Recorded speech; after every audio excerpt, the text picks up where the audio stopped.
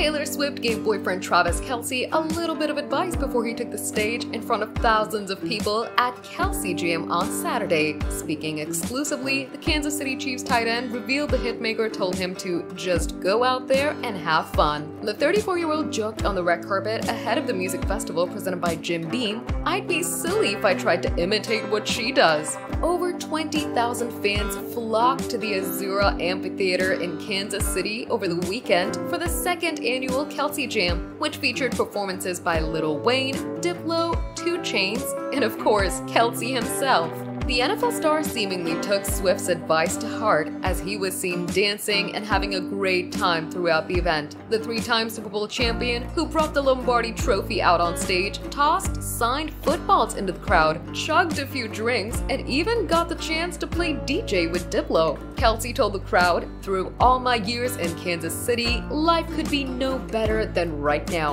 Last year, Kelce held the music festival the same weekend as the NFL draft, which also took place in Kansas City. Without the surge of people coming to the area, the athlete admitted that he was a little nervous it wouldn't be as popular this time around. Although Swift couldn't attend the fun-filled event due to her Eras tour schedule, Kelce's closest friends, including quarterback Patrick Mahomes and his wife Brittany Mahomes, showed up to support him.